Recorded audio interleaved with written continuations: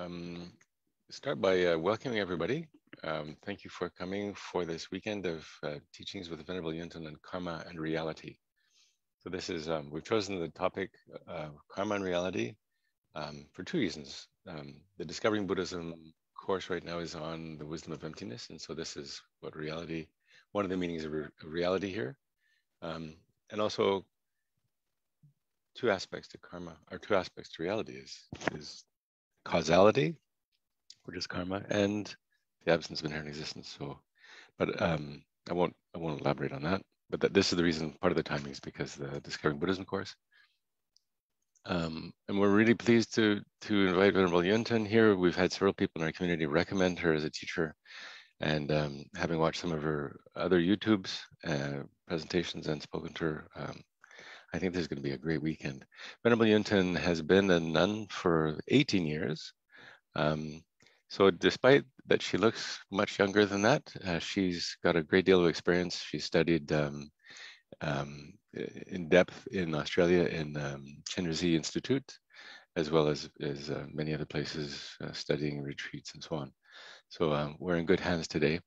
And um, so without, without much further preamble, uh, let's welcome Venerable Yönten here and um, enjoy enjoy the, the class. Oh, one last thing I suppose I should say is um, does everything in the traditional way, which is uh, completely by generosity. So we exist because of generosity. We, we try to be generous. Uh, and part of this is, may seem a bit strange, but it's, it's a really important part of the Buddhist path to practice generosity. So by by um, not asking for anything, this gives you the, the opportunity, the, the very, very important opportunity to practice generosity. So um, it's kind of a mutually beneficial way that actually the, the, idea of offering to the Dharma um, produces incredibly powerful um, causes for realizations. So um, that's why we, uh, we, we take this somewhat courageous approach of not charging anything and um, giving you the opportunity to practice virtue. And it doesn't have to be to us, it's just the idea of, of, of um, making offerings. Okay, so enough of that. Uh, here is Venerable Yönten. Here to start a video. And I'll spotlight her for everybody. There we go. Thank you.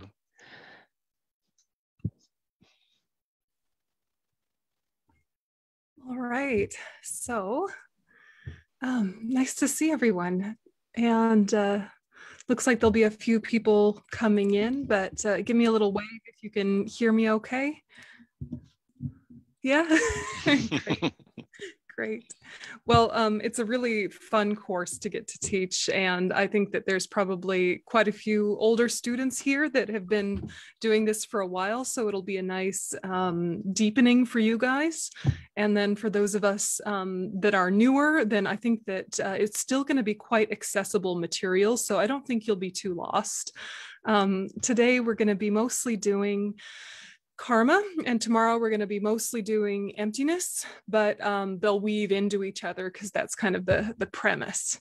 So um, in order to get ourselves settled let's uh, recite the heart sutra and really uh, reconnect that way. So i'll do share screen for you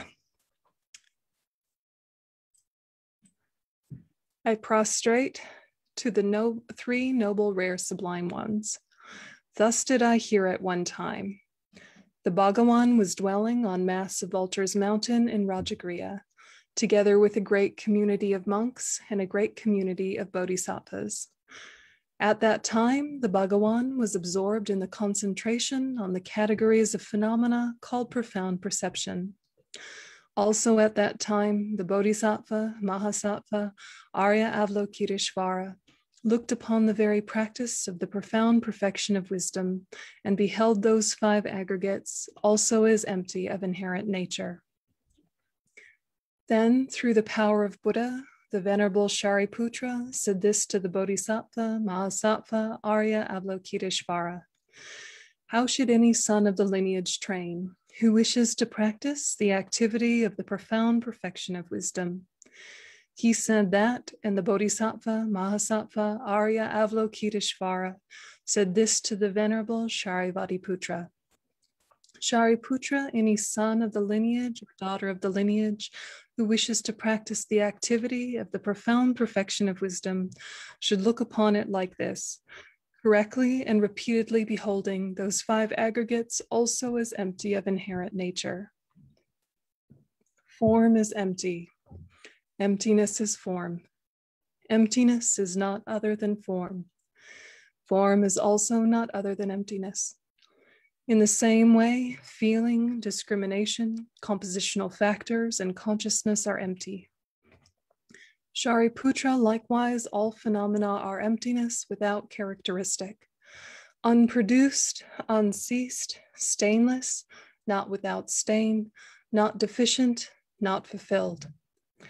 Shariputra, therefore, in emptiness, there is no form, no feeling, no discrimination, no compositional factors, no consciousness. No eye, no ear, no nose, no tongue, no body, no mind. No visual form, no sound, no odor, no taste, no object of touch, and no phenomena. There is no eye element, and so on, up to and including no mind element, and no mental consciousness element. There is no ignorance, no extinction of ignorance, and so on, up to and including no aging and death, and no extinction of aging and death. Similarly, there is no suffering, origination, cessation, and path. There is no exalted wisdom, no attainment, and also no non attainment. Shariputra, therefore, because there is no attainment, Bodhisattvas rely on and dwell in the perfection of wisdom, the mind without obscuration and without fear. Having com- completely passed beyond error, they reach the end point of nirvana. All the Buddhas who dwell in the three times also manifestly, completely awaken to unsurpassable, perfect, complete enlightenment in reliance on the perfection of wisdom. Therefore, the mantra of the perfection of wisdom, the mantra of great knowledge, the unsurpassed mantra, the mantra equal to the unequaled, the mantra that thoroughly pacifies all suffering, should be known as truth since it is not false. The mantra of the perfection of wisdom is declared. Tayata gate gate paragate parasamgate bodhisoha. Shariputra, the bodhisattva, mahasattva, should train in the profound perfection of wisdom like that. Then the Bhagawan arose from that concentration and commended the Bodhisattva Mahasattva Arya Avalokiteshvara, saying, Well said, well said, son of the lineage, it is like that. It is like that. One should practice the profound perfection of wisdom just as you have indicated. Even the Tathagatas rejoice. The Bhagawan, having thus spoken, the Venerable Sharadvatiputra, the Bodhisattva Mahasattva Arya Avalokiteshvara, and those surrounding in their entirety, along with the worlds of gods, humans, asuras, and Gandharvas, were overjoyed and highly praised that spoken by the Bhagawan. From the holy supreme realm of Khechara, you who possess powers of clairvoyance and magical emanation, look after practitioners without distraction as you would a child. To the hosts of Dakinis of the three abodes I prostrate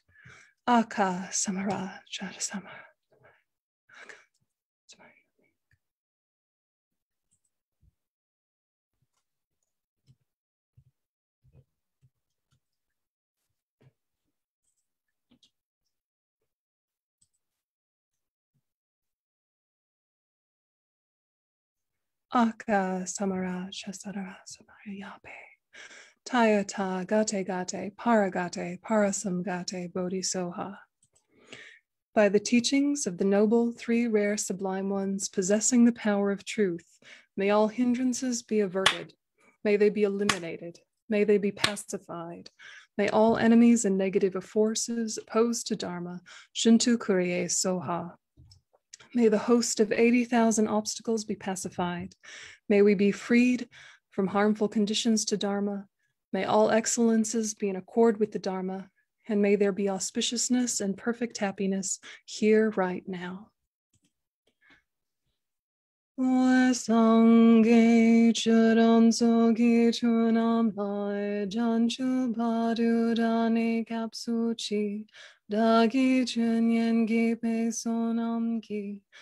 rola penche sangye drupa sho sangye churan sogi chunam la janchu badu dani kapsuchi dagi chunyen gi pe sonam ki rola penche sangye drupa sho sangye churan sogi chunam la janchu padu dane kapsuchi dagi chunyen gi pe sonam ki rola penche sangye drupa sho and just sitting with the motivation connecting with it deeply in your heart.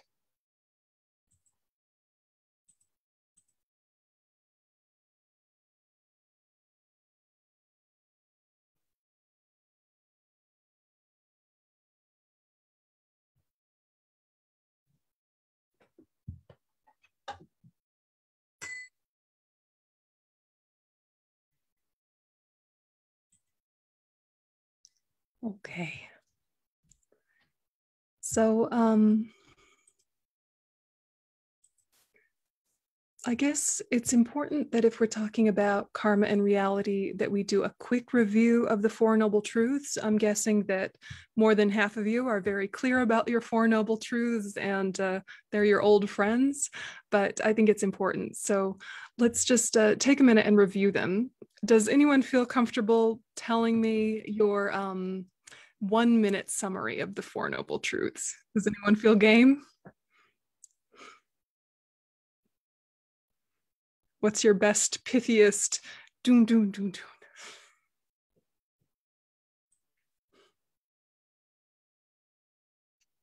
So everyone's free to go off mute if they wish. Um, and of course, now I'm scrolling through looking at all of your faces, and uh, some of you don't have your video on, which is okay. But if you'd like to put them on, it's nice to see your heads. It is. It's nice to see people's reactions when you're teaching. Laden, you had your hand up. Yes, thank you. Bonjour, hi, uh, Bonjour. Hi, everybody.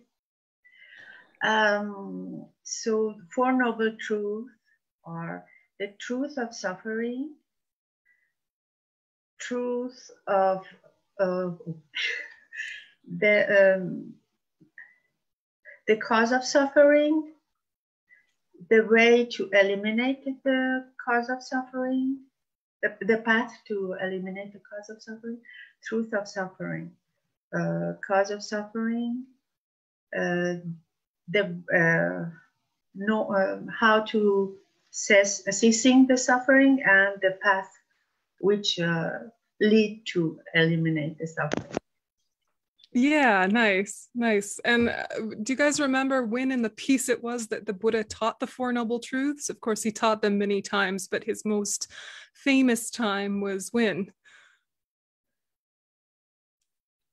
The very first time he taught. At, at Sarnath, and uh, yeah, just outside of um, uh, what's the big place there in India? yeah. Um, uh, um, yeah, Varanasi. Varanasi. Yeah. Have you been there? Outside. You've been there, haven't you? The big uh, Maha- yes, Mahabodhi Stupa, yeah.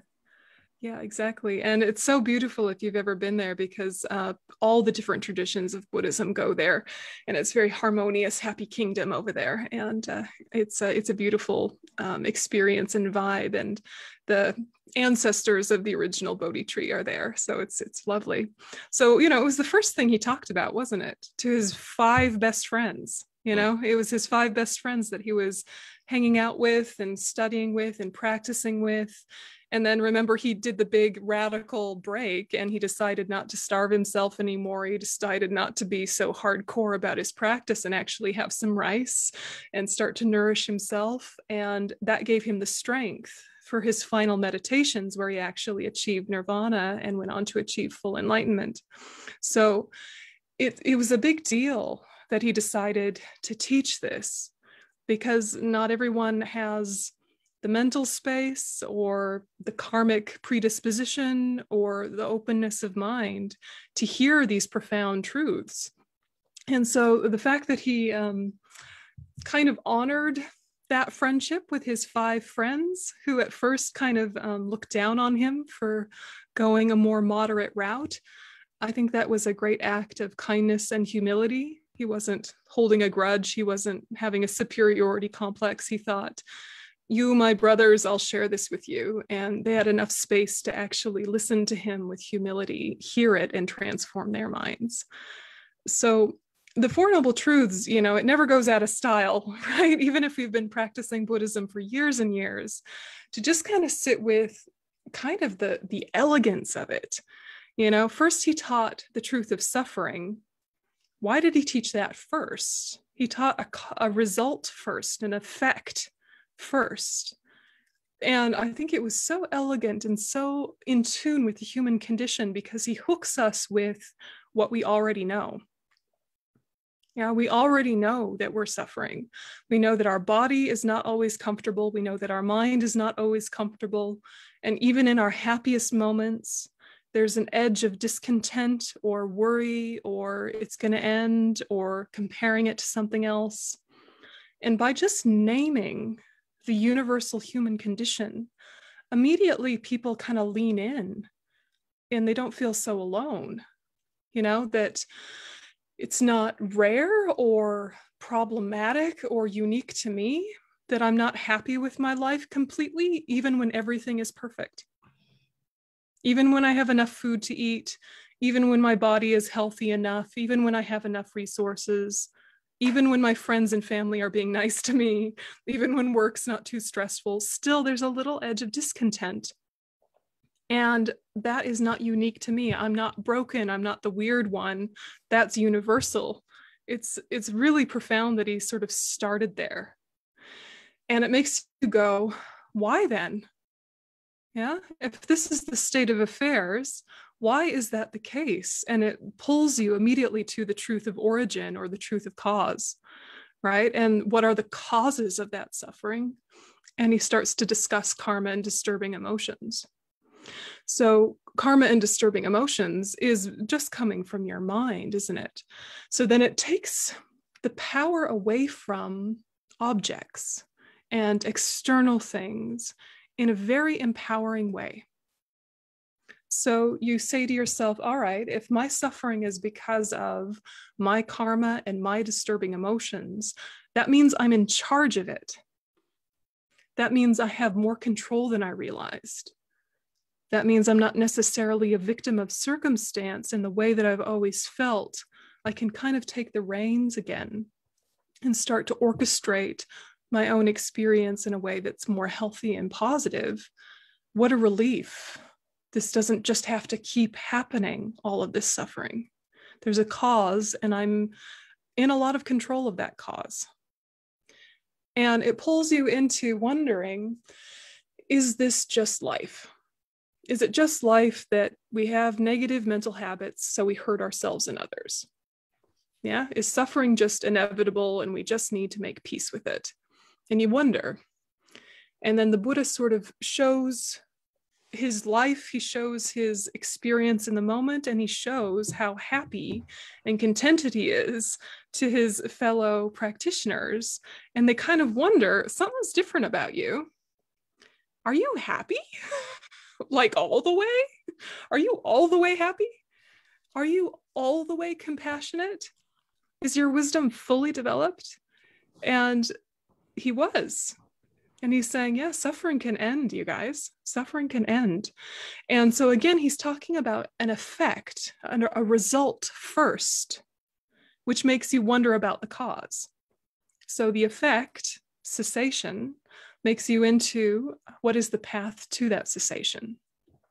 And so, true paths and true cessations, or true cessations and true paths, they are really discussing reality or the wisdom realizing emptiness and how it's already a fact, but realizing that will cut the root of your suffering. So, the first two noble truths are kind of talking about karma issues and the second two noble truths are talking about reality issues.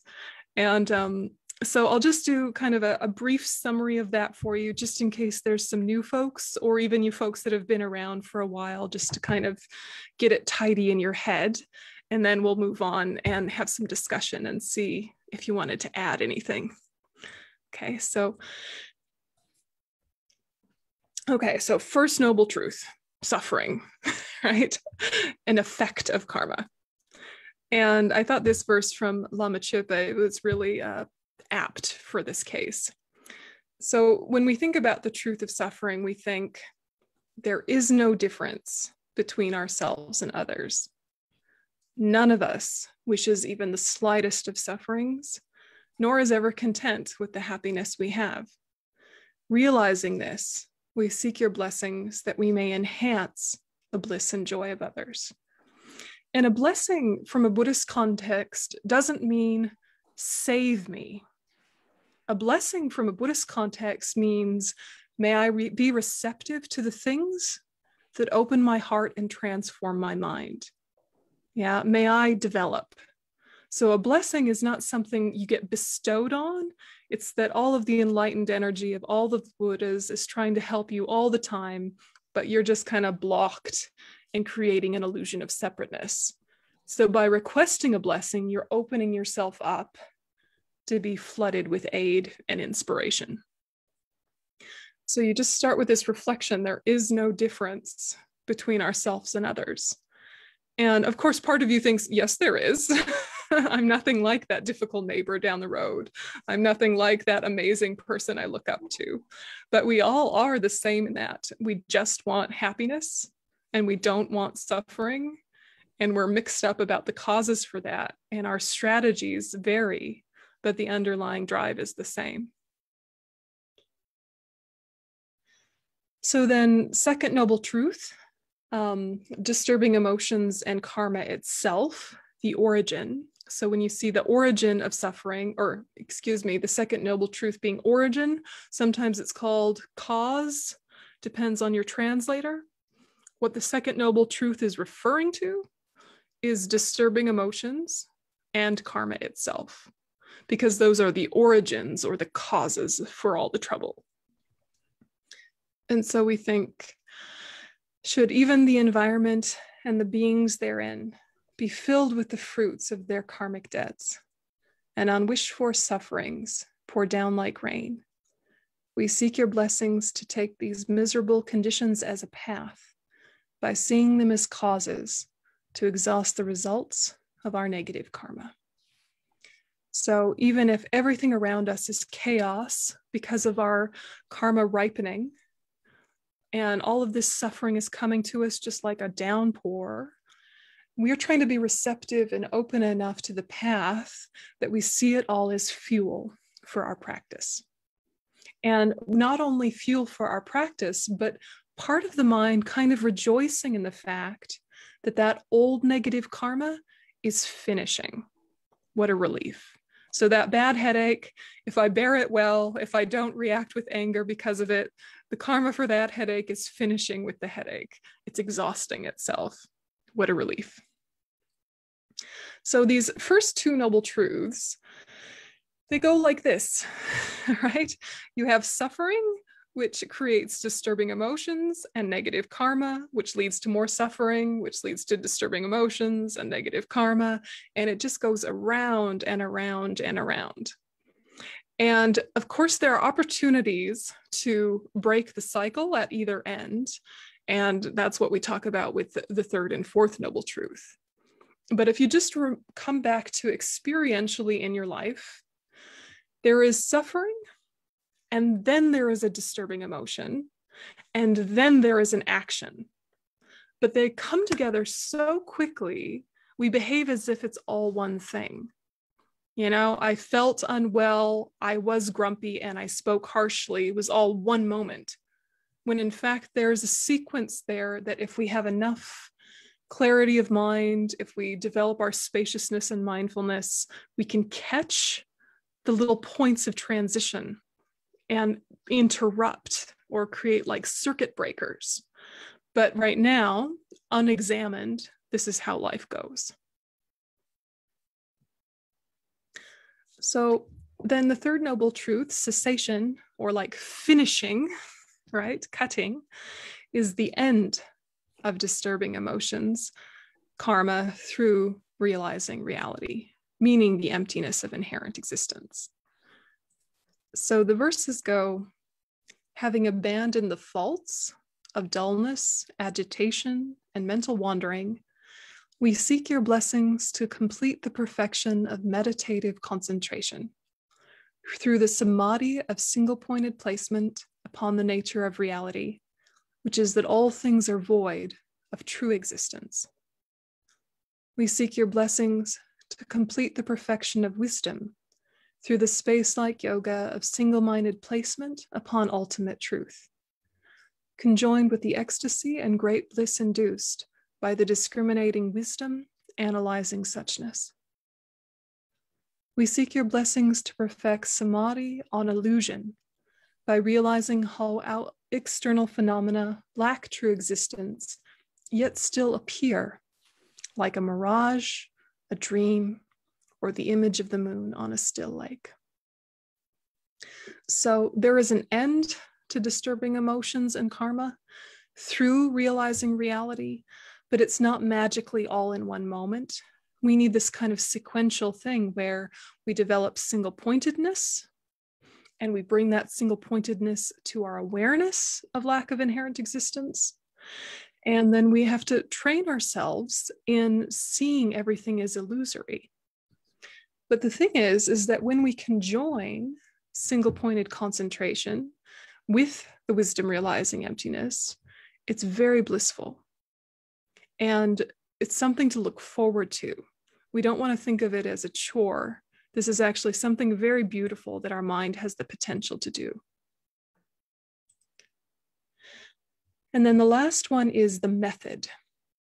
Yeah, the method to end disturbing emotions and karma by realizing reality. So, this is many of our favorite quotes from Lama Zopa, which is samsara, cyclic existence, nirvana, the state beyond sorrow, lack, even an atom of true existence or inherent existence, while cause and effect, karma, and dependent arising are unfailing we seek your blessings to discern the import of Nagarjuna's thought, which is that these two are complementary and not contradictory. So, this is really what we're all boiling down to with the course, but really the lifetime and many lifetimes is to understand how the trouble we're in, samsara, cyclic existence, and the peace that we seek, nirvana, and hopefully then going on to full enlightenment, both of them the bad news and the good news lack even a little bit of inherent existence. Neither of them exist from their own side, independent. Cause and effect and dependent arising are unfailing, which means ethics are essential always, even though they lack inherent existence. And it feels like that's contradictory, but it's complementary. And this is really boiling down to the middle way that you hear Buddhists talk about all the time. So, to kind of cut through this pattern from suffering to disturbing emotions and karma, we can do some prevention with the wisdom realizing emptiness. If we miss our window, disturbing emotions and karma leading to suffering, we can purify with the wisdom realizing emptiness most of the time we're talking about preventing suffering from turning into disturbing emotions and karma through mind training methods, through developing patience and compassion, and all of these other methods, all of which are very important and we need to be good at. But it's kind of like symptoms relief. Yeah, we're, we're kind of, you know, putting a band aid on while we develop some more skills and we're not getting rid of the fundamental problem that keeps our mis- misunderstandings alive. Then you know when we get to purification right you've already done the disturbing emotion and negative karma and it's about to lead to suffering and you don't want it to. Usually purification we talk about vajrasattva practice using the four opponent powers right? But here we can really be looking at also the wisdom realizing emptiness as a powerful tool for purification. So we're going to come back to all the reality side of things a little bit later. Now let's just look at the first two noble truths specifically about karma. And before we get into karma, I just wanted to make sure we cancel any um, misunderstandings before we even start. So just a reminder, karma is not describing any of these concepts. Okay, karma is not fate, not destiny, not predestination, not punishment, not retribution, not reward, not a judge of justice or a jury administering justice. Karma is not personified, though it is personal. Okay, so just cancel all of those in your head before we even start talking about karma because even if you've never had a Buddhist class about it, there's all these ideas floating around in popular culture, aren't there? Yeah. Okay, so before we dig into karma, did you want to clarify anything about just the overview of the Four Noble Truths or add anything that you found really useful when you've studied it with other teachers? Do you have a general sense of it? Is it pretty familiar? Now I'm scrolling through looking for nods. Yep, clear enough, familiar enough. You've heard this story before. Yes.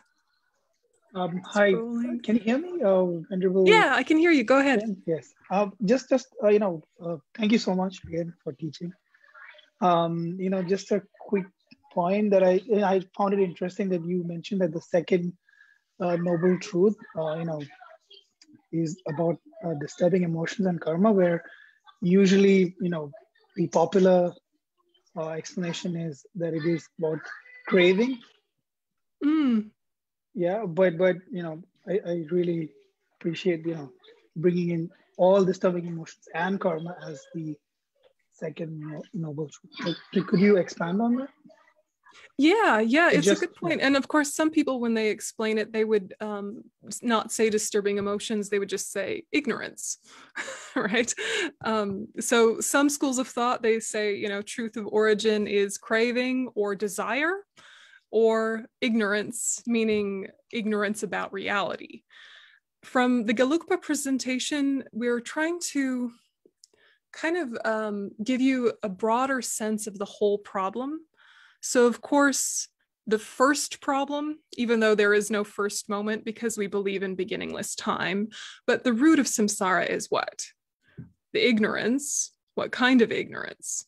The, the ignorance that views the I in your own mental continuum and holds it to exist inherently. That type of self grasping is the root of samsara, that view. And because of that view, craving makes sense. right? And so it's like ignorance is like the start, even though there's not a start. Craving is what keeps you there. Yeah, so craving is what like keeps the wheel going again and again because you're because of your ignorance, you're confused about what helps and what harms.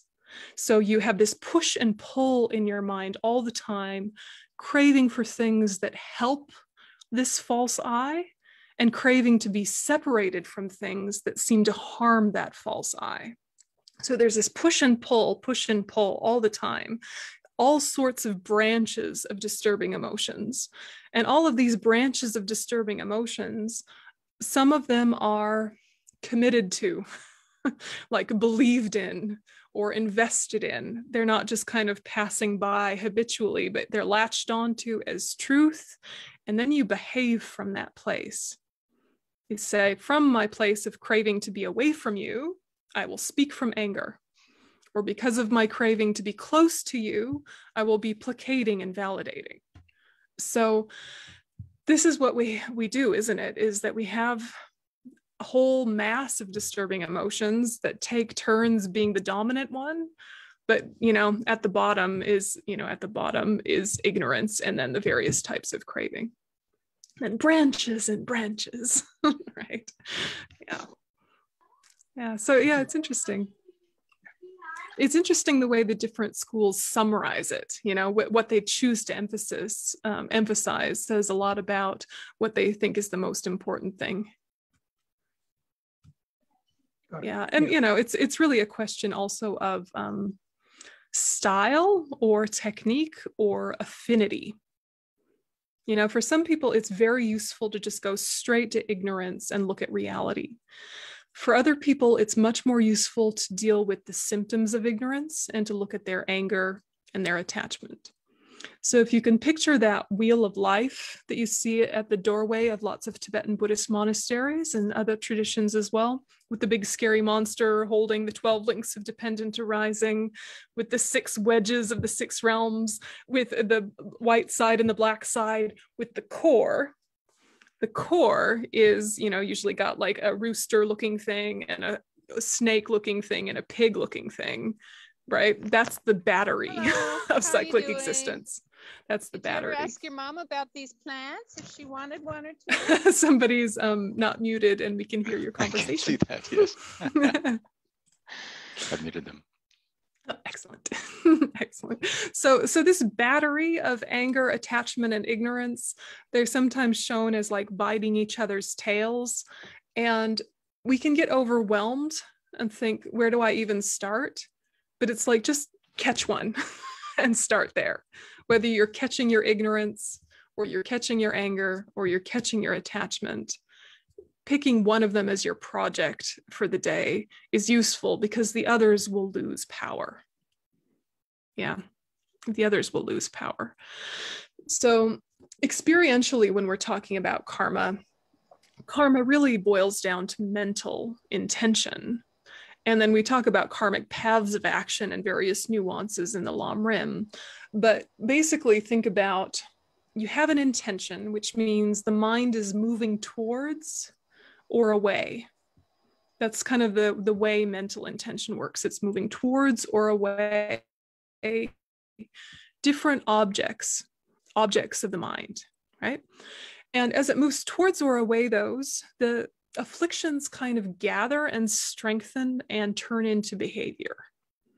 And when it's a behavior that is planned and chosen and done and rejoiced in, when it's a fully fledged, I did that on purpose, that creates the kind of karma that we're really talking about, the kind of karmic seed that gets planted on our mental continuum, which will then ripen as suffering, but also has the power to ripen as a whole new negative rebirth if we're not careful. So there's a lot of kind of incidental karmas throughout the day, right? Like you might be walking from your footpath to your mailbox and accidentally step on an ant and not even realize it. It's a very, very minor karma. But if you see that ant, hate it, want to kill it and stamp on it and think, haha, I got it, it's very heavy karma. So on the surface, it looks like the same thing. You killed an ant. But intentional or not intentional has a great deal to do with how significant the karma is and what it's going to lead to. Right? We know this, yeah? So karma is mental intention. Experience is where karma ripens or feeling. Some of you maybe have studied minds and mental factors or Sem Semchung with Geshe-la. And of the omnipresent mental factors, intention is one. You always have intention.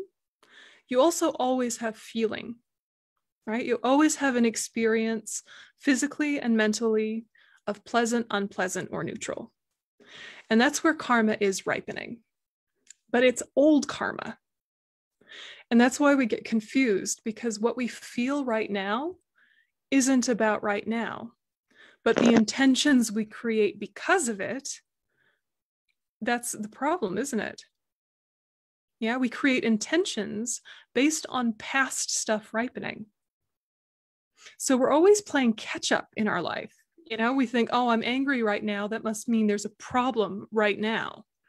When in fact, what it is is that maybe a few minutes ago, maybe a few hours ago, you allowed a negative state of mind to kind of fester and there was some habitual outside conditions around you and that watered a seed and now you feel unpleasant Yeah, you watered your own seed and then it took a minute and it blossomed. And now you have this unpleasant experience and you think it's about 100% what's in front of you. Yeah. And then you react as if it's all about what's in front of you and you perpetuate the confusion. Yeah. And we do this a million times during the day. And we're always looking for something to soothe or something to prevent or something to distract all the time. Try and kind of escape the discomfort or the unease of the present moment, giving all the credit to the present moment for why we feel how we feel. And, you know, it takes two seconds of analysis to see that that's not the case, whether we even understand karma or not. You can see that it's what's happening right now isn't about right now. But we don't usually take the time to consider that. So, you know, put yourself in a very ordinary circumstance like sitting in an outdoor cafe with a good friend. Okay, you're sitting in an outdoor cafe with a good friend. Um, everyone's vaccinated. You can have your masks off. You're enjoying yourself, right? And you're really having a beautiful conversation. It's so nice to see them again. And it's starting to get a little bit chilly. You're getting a little bit cold. But because you're so happy about connecting with your friend, the experience of suffering of cold just kind of fades to the background. And it's a very small part of your experience. And it's only if it kind of escalates do you do something about it and say, actually, let's go in, or I need a coat. But it's not aggravating you. You don't turn your attention towards it and give it power because what's in front of you is too important. But if you were in the same exact situation with the same exact temperature in a conversation you were not enjoying, suddenly the cold is a big deal. Right? Suddenly the cold becomes like a prominent part of your experience, and you're like fidgeting and you're like doing like this, and you're warming your hands up, and you're getting kind of like, oh, yeah, look, I'm really with you, but we need to go inside. The same exact temperature right? But two different experiences based on what your mind is doing with the circumstances and what your mind is watering, right? What kind of seeds your mind is watering. So, like, you already know this, right? You knew this before Buddhism. You knew this as a kid, even probably. And yet, in the moment, how true it feels that it's this thing's fault I feel this way. Like, we give up all sense of having any kind of choice. Yeah. So when you've heard about conversations of karma before, what where do you get stuck? Where are the points that really kind of hang you up and you just don't understand how that works? Or you do understand how it works, but you don't know what to do about it? Yeah, where are your karma issues? My karmic issue, I think, generally is I know that what I'm about to do is not going to lead to happiness, but I do it anyway. And why do you do it anyway? I think it must be the habit is so strong. And and it will give you happiness temporarily, right? Yeah. Yeah, yeah very temporarily. yeah. I mean, that's the thing is is we want to be nice to ourselves about this where it's not like our samsaric habits don't work at all they do kind of work, right? Like if you're depressed and you eat a cookie, you have a moment where the cookie really does help, right? but the problem is is that because once a cookie kind of helped you feel better, now you always go to that hoping it will do the exact same thing. And some days it works and some days it doesn't. And some days your mind is so agitated that before you've even finished one little cookie, you're anticipating the whole sleeve of cookies. You haven't even enjoyed one before you're thinking, yum, yum, yum, yum, you know, because you're too rattled. But it's not to say that once upon a time, when you were sad, a cookie was a condition for happiness to arise or relief to arise. But we just keep giving all the credit to the cookie, you know, rather than the mind that we brought to the cookie you know it's it's a funny thing so i think some of our resistance with karma is that certain things habitually have, you know, a high percentage of kind of soothing us. So we don't want to let go of them completely because we don't know what to do instead. Yeah, what do you do instead of your old habits of self soothing? So you know they're not ideal, but you know they're probably socially acceptable enough, polite enough. They don't aggravate your housemates too much or your neighbors too much. You know, so maybe it's something like you know your your parents modeled having a glass of wine after dinner as a way of relaxing from work so now you have a glass of wine after dinner to relax from work. But something about your karmic predisposition and your brain chemistry and your past trauma and many, many things means that you don't have just one, you have five. But you're a functional alcoholic and you're fine for work the next day and you don't drink all through work, but you know it's not ideal to have five glasses of wine every night. You know that already you know? Someone's saying you're an alcoholic. You're like yeah i know. But you're not going to give it up because it does kind of help a little. But it's become problematic. But what do you do instead? Can you kind of touch whatever your habit is of self-soothing and imagine taking that away from yourself the space that opens up is a frightening space it's a frightening space. What do I do instead? And why do you need to do anything instead? Why can't we just be?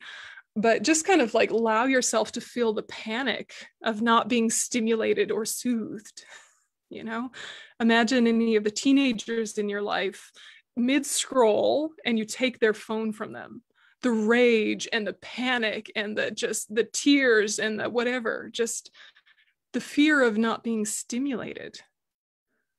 So we want to be gentle with ourselves when we're talking about karma and really near to our exact experience in this moment and picture okay so i'm going to go to do that negative habit that i know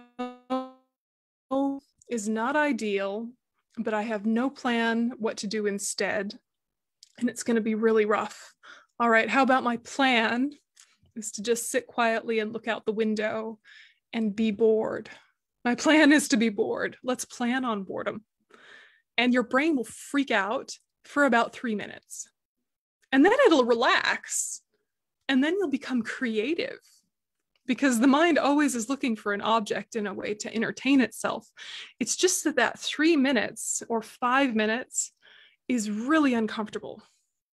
The transition time between going with the flow of your old flow conditioned by karma and disturbing emotions interrupting it and trying something different. So, if you can remind yourself that that transition point is where the discomfort is, it doesn't last forever. You could do anything for five minutes, right? You could poke yourself with needles for five minutes. It would be horrible, but you could do it. You could last, right? Why can't we just sit quietly and be bored for five minutes? Because we have this grasping at permanence that thinks, I will feel this way forever and I can't bear it. But if you can kind of remember those times where release, relax, creativity comes back to you, spaciousness comes back to you, lots of things come back to you. Of course, also what can come back to you is a series of things you haven't been dealing with. And that's part of why we live in this disassociated, distracted way you know you know what happens when you meditate right we all know what happens when you meditate you're like oh great i'm going to meditate hmm. okay okay and then you settle settle and then remember all the things you've been putting off or have meant to do or wish you were doing instead and you know if your life is not too traumatic you're maybe just remembering your greatest hits of memories you know you're going through your greatest hits you may be adding a soundtrack or you're imagining a past that never happened. So you're taking out all the uncomfortable parts of your favorite memories and filling them in with extra sunshine and, you know, doing that. Or all of your, you know, epic, I don't know, intergenerational trauma is roaring to the surface and you're like, oh gosh, no, no, no, no, no. Yeah. Or you just kind of vague out right? And you think, oh, I'm meditating on emptiness, right? But you're just like vagued out space cadet, just like mm, static, right? Right, the classics. So, okay, that's normal. That's human. That's the first, first noble truth. How do you move through that with like friendliness and patience that's not then giving in to your old pattern of this is uncomfortable, I have to do something. Because that's what keeps that cycle going again and again.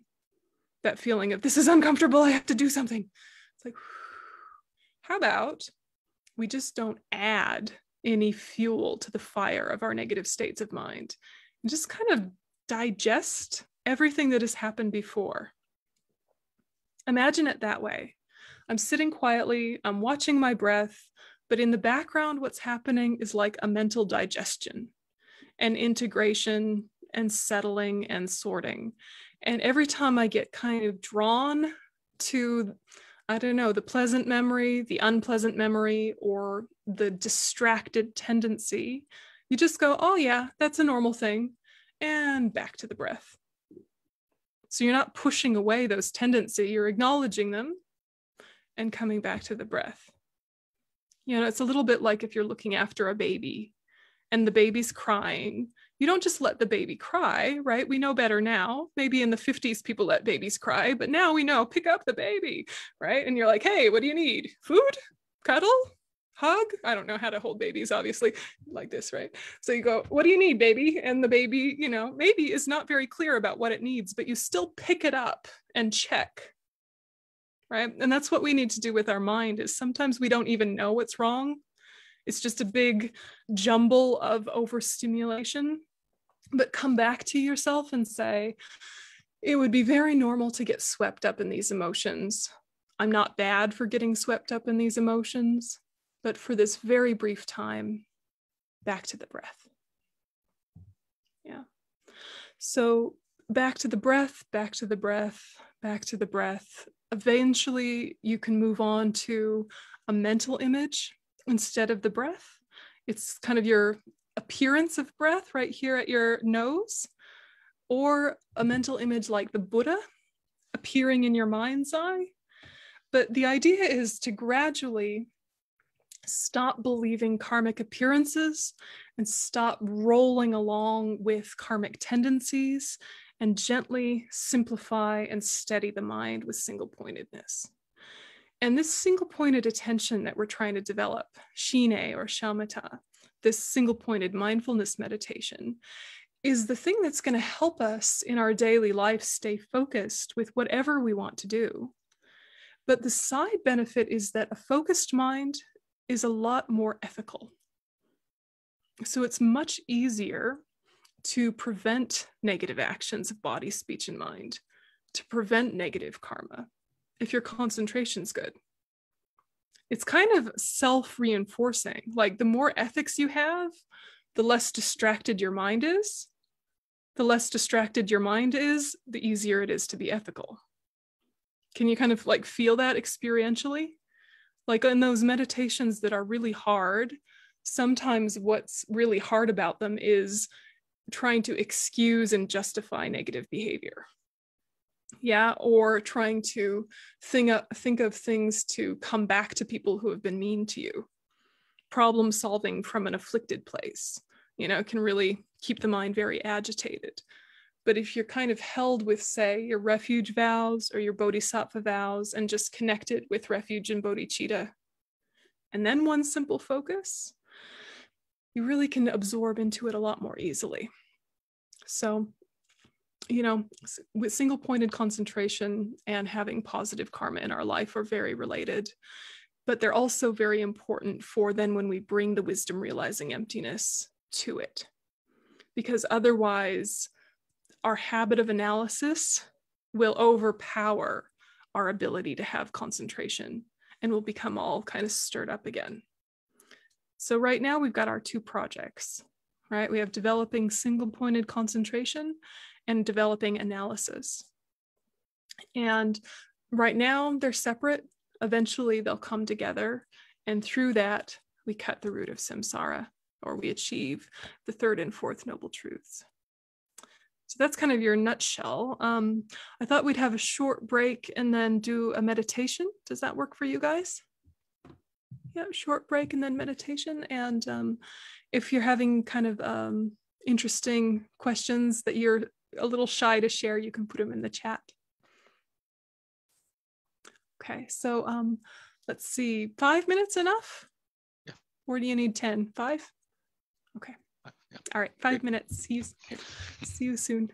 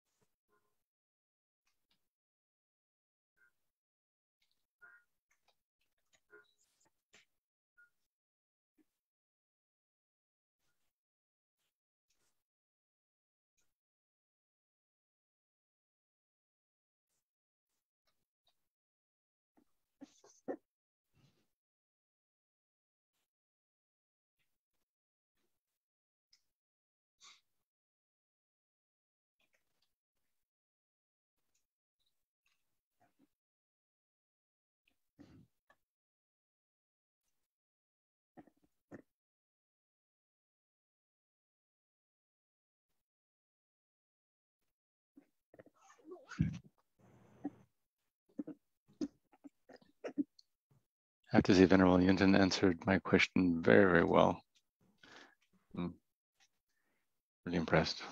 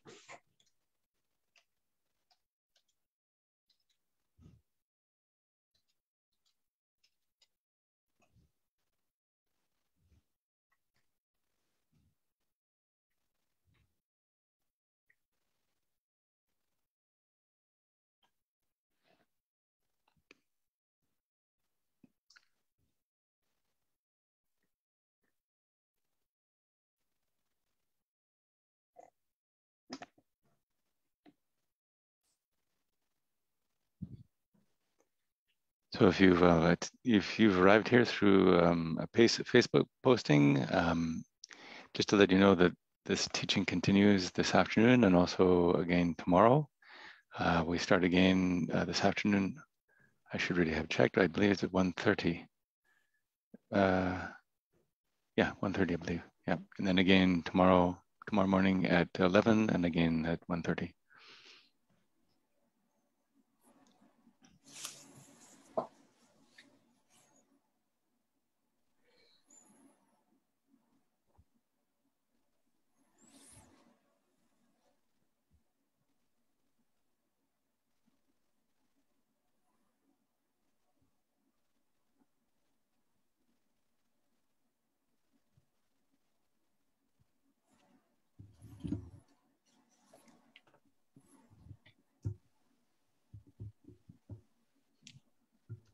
Okay, so get yourself into meditation posture.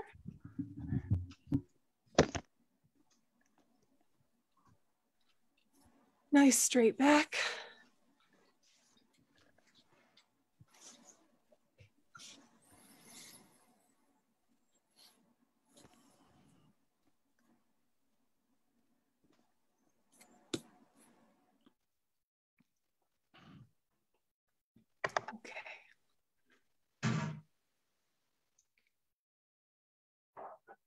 And really feel grounded in your space and make sure that you're on mute so any of your breathing or bump noises don't come through.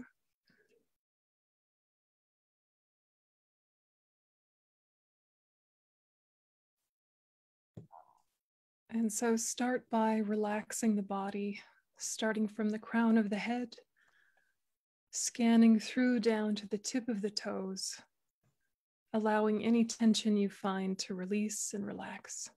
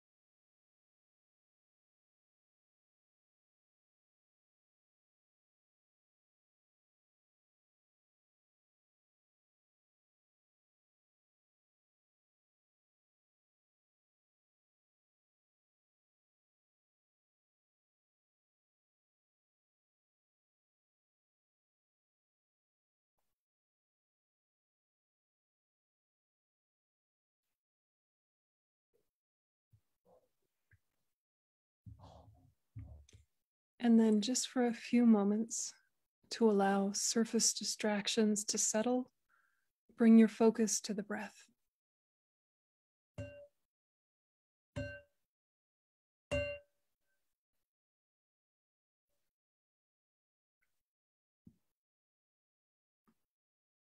Just the breath.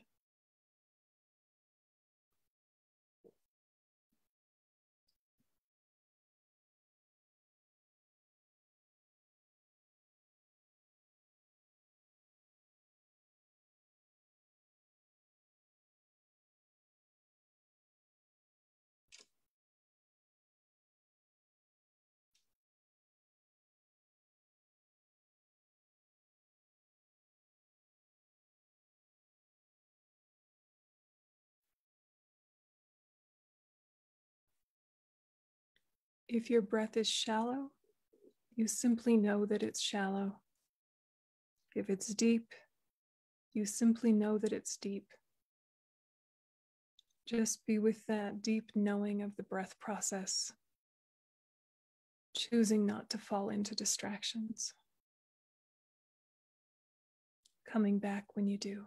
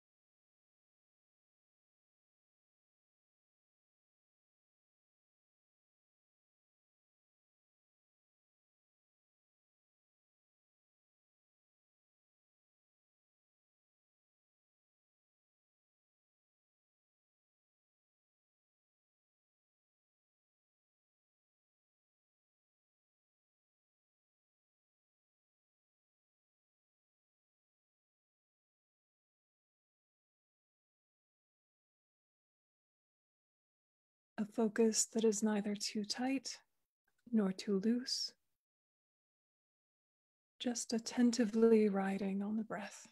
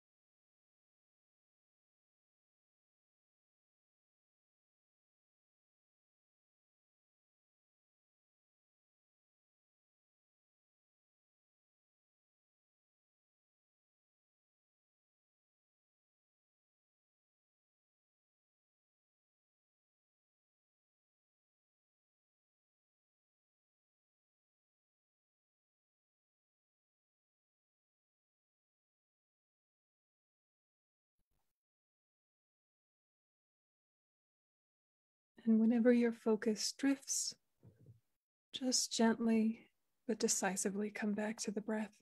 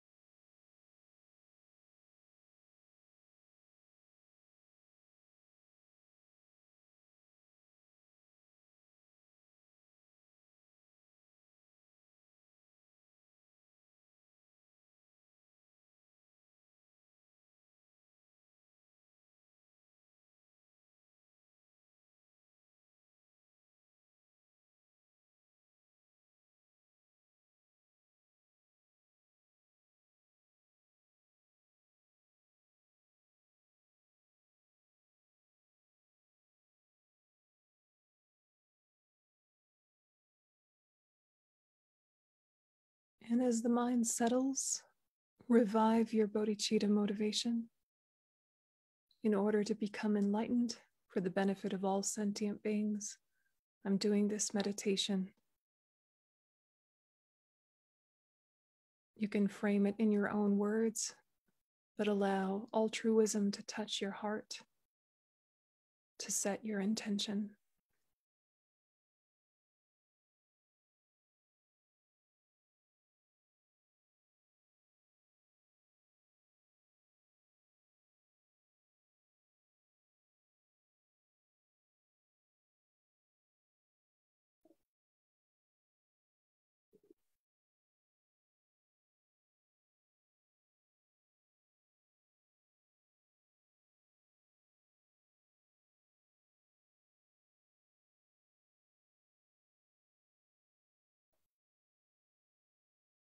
And shift to analysis and start by thinking about the first fact of karma as described by Lama Tsongkhapa in the Lamrim Chenmo.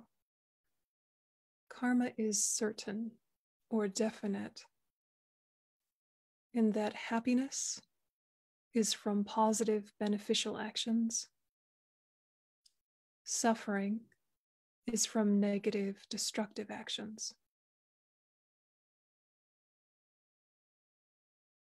The substantial cause, the seed, the main part of my experience.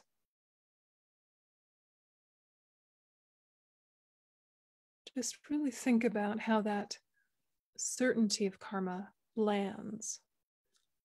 The way on the surface it makes good sense, seems very practical. But what insights or doubts do you have about it?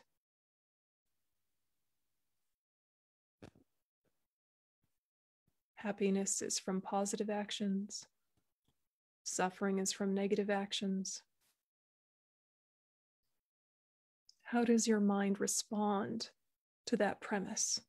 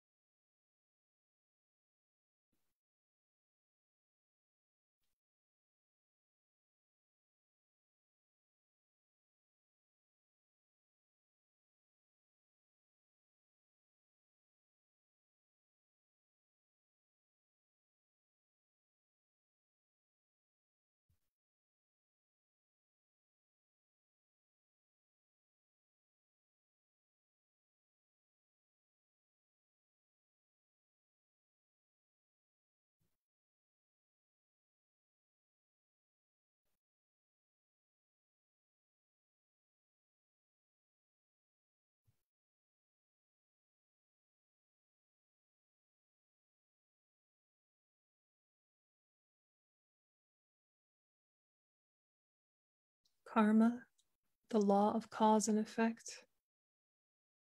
For us, we don't completely understand all of the millions of subtle nuances, all of the countless conditions.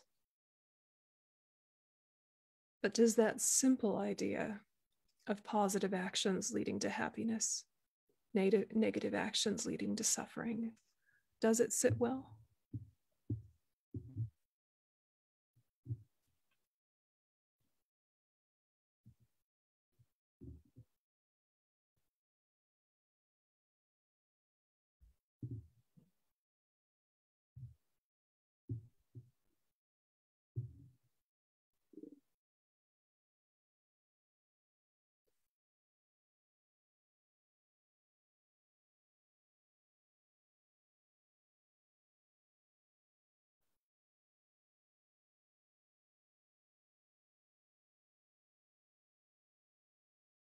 And so anything that you have a doubt about, try to really clearly articulate it to yourself. Try to really nail down what the issue is that you're having and repeat it to yourself so you don't lose it, so that you can investigate it further. We don't force a belief we don't have. And then anything that feels like a new insight or a deeper understanding, repeat that to yourself. Allow the repetition to make it sink in.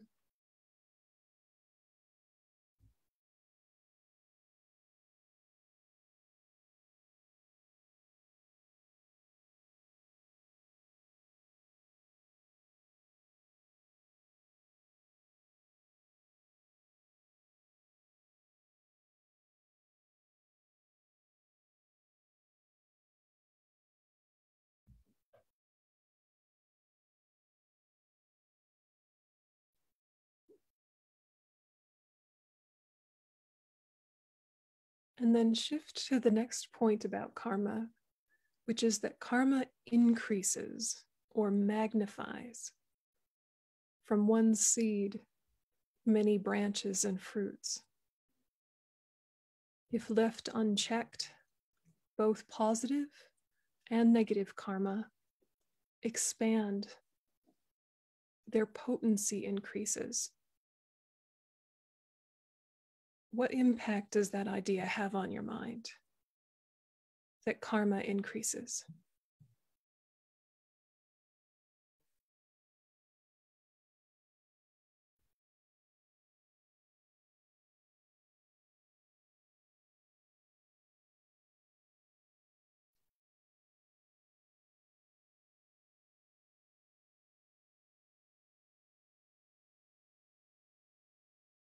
Analogies of karma are often together with analogies related to the natural world, literal seeds, literal plants. The way the seed of one thing can only produce a fruit or a plant of a similar type. And the way one tiny seed can expand to great impact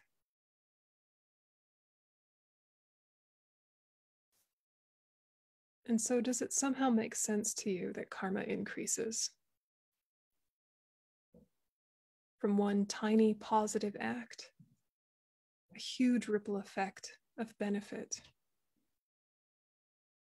From one negative act, a ripple effect of negative impact or suffering. How does that sit?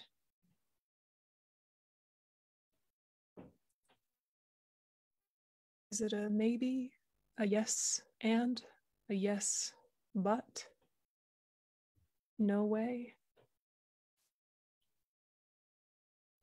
So, without filtering or editing, just examine your own response to the idea that karma increases.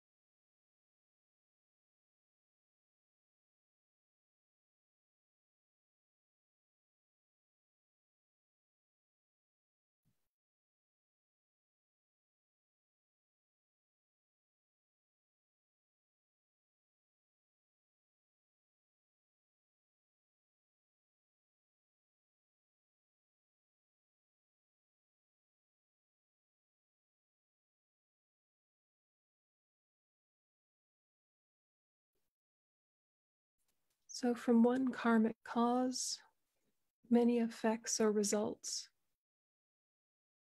Karma is the cause, but it's not the same as its results, though they're of a similar type.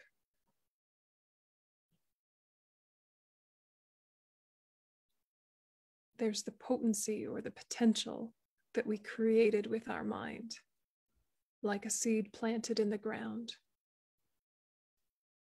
And like a seed, it could stay there forever, unwatered, no sunlight, and never blossom into experience.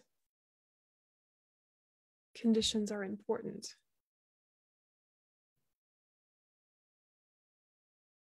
But think about the fact that we are the one who is the gardener. Which brings us to the third point about karma which is that we only experience the results of things we've created the cause for. If we are experiencing it, we created it. Even if it was eons in the past, a millennia ago, almost a different person than who we are today.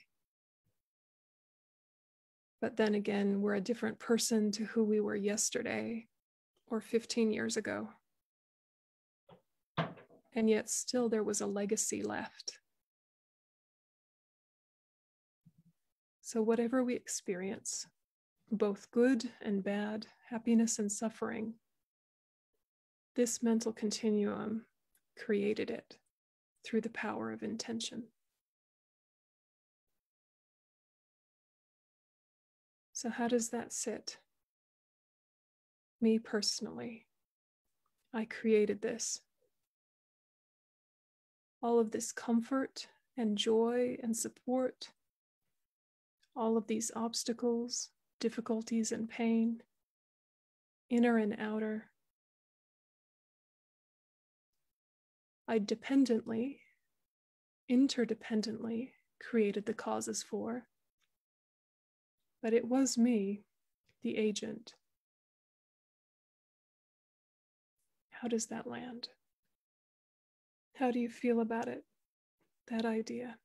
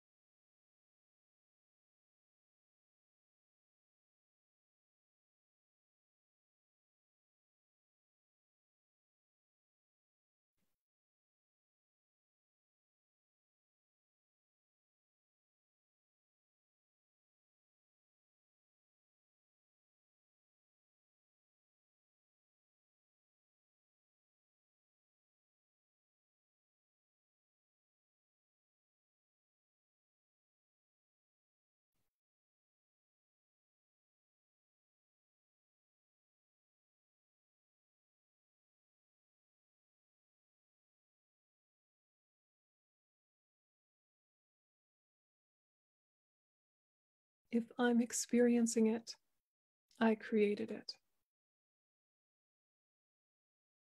Which doesn't excuse other people's harmful behavior, which doesn't give no credit whatsoever to the kindness we've received in our life from others. But it puts us squarely at the driver's seat There are significant conditions, but we created the cause.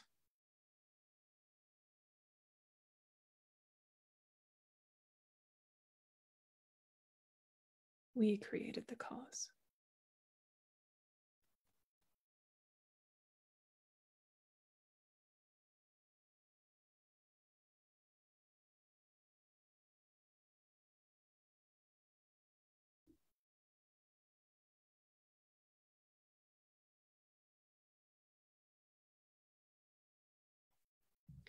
And then the last point is that actions once done don't go to waste, meaning that the karmic seeds we've created, the thousands, millions, trillions, all of those seeds, they don't go to waste. They don't get stale or lose their potency over time. They actually increase in potency over time. So all the good that we've done is never lost. All of the destructive actions we've done, never lost. Until until conditions come and it ripens into experience. Then the seed is finished or exhausted. Or we purify in the case of negative karma.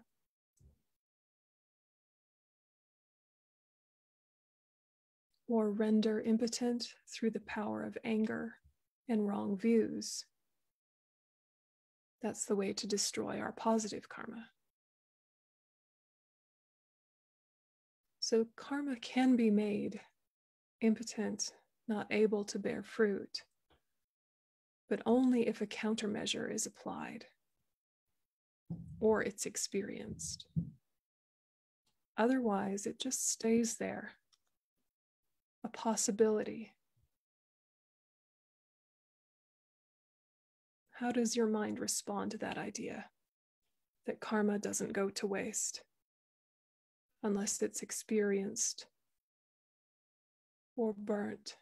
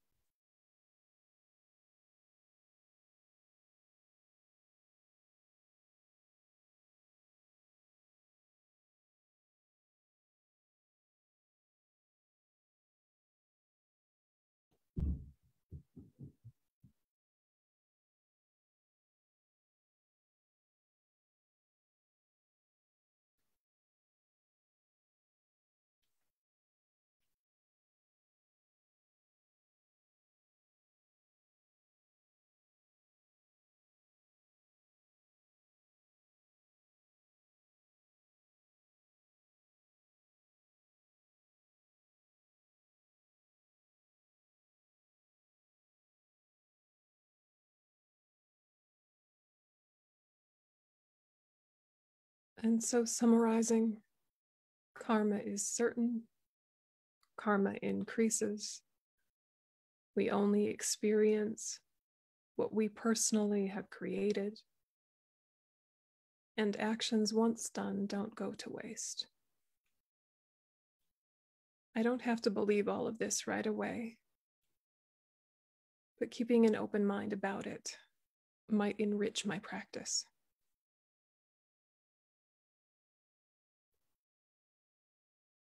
So allow your mind to hold open any questions and to reinforce any positive, useful conclusions.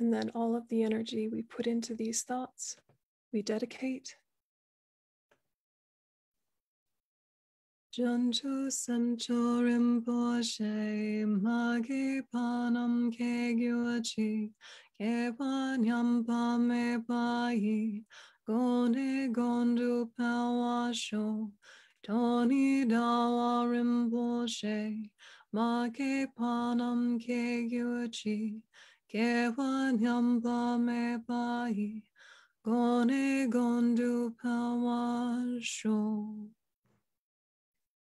And thinking that the agent, ourselves, the object who actions are done towards,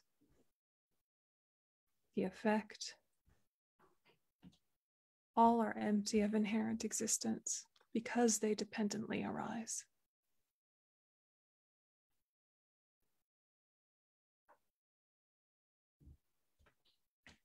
And you can relax your attention.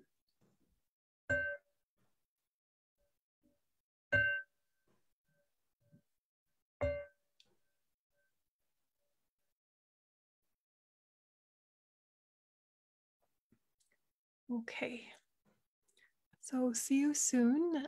We'll have an hour break and uh, any of the questions that are in the chat, I'll have a little look at during the break and um, kind of pull out the essence and talk about it at the top of the next class. And uh, we'll dig in a little bit more deeply. So don't lose any of the insights you had during the meditation and also none of the doubts or the questions. Just try and, you know, repeat them to yourself so you don't lose them. And uh, I'll see you in an hour. Thank you so much. Thanks.